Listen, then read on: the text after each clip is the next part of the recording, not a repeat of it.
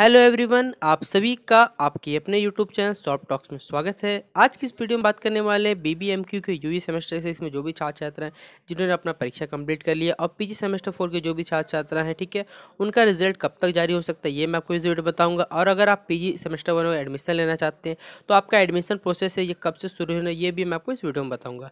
तो वीडियो को लास्ट तक देखिएगा, और एक बात वीडियो के डिस्क्रिप्शन बॉक्स में आपको एक फेसबुक पेज का लिंक और एक टेलीग्राम ग्रुप का लिंक मिलेगा। अगर आप हमसे जुड़ना चाहते हैं तो दोनों पे जुड़ सकते हैं, ये आपकी इच्छा रही, ठीक है? इसके बाद बीबीएम के संबंधित कोई भी नोटिस आती है या कोई भी जानकारी आती है तो सबसे पहले आपको हमारे फेसबुक पेज और टेलीग्राम दोनों पे मिल जाएगी, ठीक है? तो चलिए अब हम लोग वीडियो को शुरू करते हैं।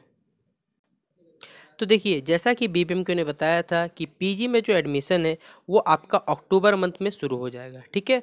तो अक्टूबर मंथ में शुरू होगा, यानी आपका जो भी छात्र छात्रा यू सेमेस्टर सिक्स में है तो उनका रिज़ल्ट तो आप मान के चलिए कि आपके सितंबर के लास्ट वीक में किसी हालत में जारी कर दिया जाएगा, क्योंकि अगर P semester one admission start होगा तो आपका रिज़ल्ट आपको चाहिए, ठीक है? तो आप सभी छात्र जो भी यू सेमेस्टर सिक्स में है तो उनका रिज़ल्ट अगस्त के सॉरी सेप्टेम्बर के लास्ट वीक में किसी हालत में जारी कर दिया जाएगा। अभी आपका प्रैक्टिकल स्टार्ट होने वाला है उसके बाद कुछ ही दिनों में आपका जो रिज़ल्ट है वो जारी करें। जैसा कि आपको मालूम होना चाहिए कि आपका कॉपी जो चेक होना स्टार्ट हो चुका है दो कॉलेजों में, ठीक है? तो आपका जो रिज़ल्ट है इस बार इसी महीने के लास्ट वीक में किसी हालत में जारी कर दिया जाएगा। और जो पीजी सेमेस्टर फोर के छात्र छात्र उनका भी रिज़ल्ट इसी मंथ के लास्ट वीक में जारी कर दिया जाएगा। और पीजी जो एडमिशन सेमेस्टर वन में, वो वो आपका अक्टूबर के फ़र्स्ट वीक या सेकेंड में किसी हालत में स्टार्ट होने वाला है, ठीक है?